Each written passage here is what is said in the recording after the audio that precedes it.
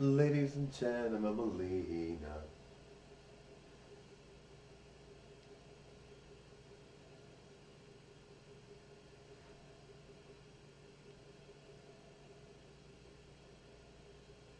Bye guys, thank you.